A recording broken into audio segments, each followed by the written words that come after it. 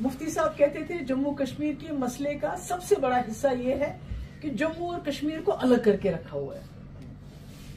कि जम्मू वाले कहते हैं कि नहीं, कश्मीर वाले जो चाहते हैं हमें नहीं चाहिए, कश्मीर वाले कहते हैं जो जम्मू वाले चाहते हैं हमें वो नहीं चाहिए।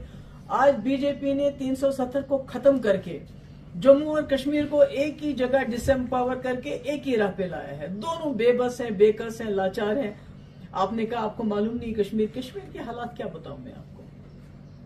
कश्मीर का दिल, कश्मीर का रुआ रुआ रो रहा है अंदर से, मगर बाहर से क्या करें आप? बाहर से क्या करें? चेहरे पे रखा है, उन्होंने एक स्माइल रखी हुई है, मगर अंदर से लोग जो हैं, पिटे हुए हैं, तंग किए जाते हैं, रोज आपको पता है रोज एनआईए के थापे छापे, रोज ईडी के छापे एस एसआईए एसयूआई पता नहीं क्या क्या जिस तरह जम्मू में रेत बाजरी से लेके हर चीज़ जो है बाहर के लोग ठेकेदार आए हैं, यहाँ के ठेकेदारों को काम नहीं मिल रहा है।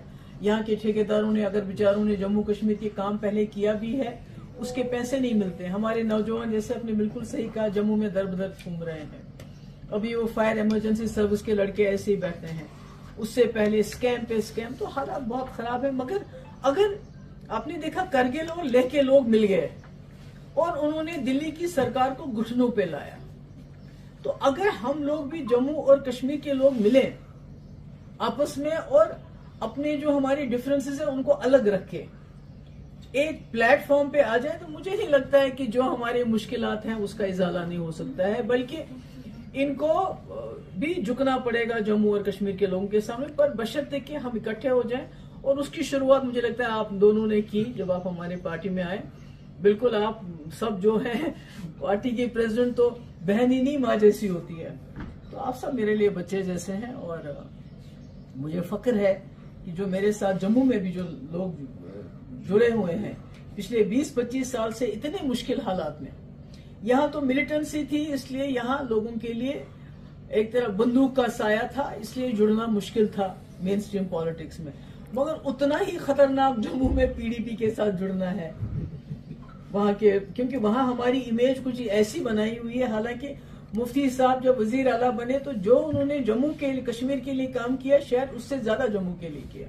चाहे स्कूल हो कॉलेज हो, रहबर, तालीम टीचर लगाना हो, सड़कें बनाना हो, आज जो ये सुचीतगढ़ का बॉर्डर वगैरह है, ये मुफ्ती साहब की, उस वक्त की देन है कि ये बॉर्डर टूरिज़्म होना चाहिए, हमारा वाघा बॉर्डर की तरह यहाँ भी होना चाहिए। तो ये, एक बनाई है, इन्होंने हमारी एक छवि बनाई है, खासकर कश्मीर के नहीं कि की तरफ़ कटोरा लेकर वो नहीं, मैं उस पर क्या हूँ? उमर साहब ने एक स्टेटमेंट दिया उस पर मैं क्या कहूँ? मैं इतना कहना चाहती हूँ इलेक्शन बहुत ज़रूरी है। मगर मेरे लिए इलेक्शन से ज़्यादा ज़रूरी है जो जम्मू कश्मीर के लोगों के इख्तियार उनके जो हकूक़ है, जो कॉन्स्टिट्यूशन राइट्स हैं, जो वो सलब किए गए हैं, जो वो ख़त्म किए गए हैं। आप बात नहीं कर सकते। मुझे बताइए, आप जो जर्नलिस्ट हैं, कितने जेलों में हैं? कितनों के पासपोर्ट बंद है? कितने हमारे जो रिलीजियस लीडर हैं, वो इस वक्त जेलों में हैं। किस तरह रहमतुल्लाह साहब को एनआईए ने फिर से बुलाया है? तो ये तो हमारे बेसिक राइट्स ही जहाँ नहीं हो तो वहाँ इलेक्शन तो दूसरी बात है। इलेक्शन होना बहुत ज़रूरी है। मगर आज जो आप देखते हैं, ये चाहे एडवोकेट आदित्य है, चाहे प्रभात जी हैं, ये हम कोशिश करें कि जम्मू और कश्मीर में जो बीजेपी ने एक बहुत बड़ी जो आपस में डिस्टेंस फासला क्रिएट किया है। उसको हम कम करना चाहते हैं, हम चाहते हैं जिस तरह लेह और करगिल के लोग मिले और उन्होंने दिल्ली की बीजेपी सरकार को झुकाया अपने सामने कि हमारी जो आइडेंटिटी है उसके साथ आप खिलवाड़ नहीं करेंगे, हमारी ज़मीन है, हमारी जॉब से उनको सिक्योर करेंगे। इसी तरह मैं चाहती हूँ जम्मू और कश्मीर के लोग भी मिले और वो ये महसूस करें कि बीजेपी उनको इस्तेमाल कर रही है। पीडीपी सबसे बेहतरीन प्लेटफॉर्म है जो जम्मू कश्मीर के लोगों के जो हित है, जो असली मसले हैं उनकी बात करेगा, जब मेरी सरकार थी तो शायद पूरे मुल्क में किसी भी स्टेट में दो एम्स नहीं दिए गए। मगर मैंने लड़ी और जम्मू के लिए भी एक एम्स लिया, कश्मीर के लिए भी एम्स लिया। हर जगह पूरे स्टेट में एक स्मार्ट सिटी दी गई। मैंने जम्मू के लिए भी स्मार्ट सिटी ली और श्रीनगर के लिए भी स्मार्ट सिटी ली। मैंने अगर कॉलेज मुफ्ती साहब ने मैंने दिए, जितने जम्मू में दिए, उतने कश्मीर में दिए। तो हमने हमेशा जम्मू और कश्मीर को बराबरी के नज़र से देखा है। मगर ये फसाद डालना चाहते हैं, इसलिए मेरी कोशिश है, ज़्यादा से ज़्यादा जम्मू के लोग जो हैं पीडीपी में शामिल हो जाएँ और लेह और करगिल की तरह इकट्ठे होकर हम अपने मसाइल जो हैं, उनको उजागर करें और दिल्ली को झुकने पर मजबूर करें कि जो उन्होंने कांड 2019 में जम्मू वालों को ये कह के किया कि भाई, आप कश्मीर की जो आपके ऊपर इजारदारी है, उसको ख़त्म करेंगे।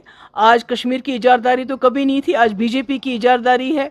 कॉलेज यूनिवर्सिटीज़ का हाल देखिए क्या हो रहा है दिन ब दिन ख़राब हो रहा है। ये एम्स और ये बाकी चीज़ें तो बीजेपी वाले कहते हैं कि हमने लाई नहीं खैर अब उनके साथ मैं बहस नहीं करना चाहती हूँ।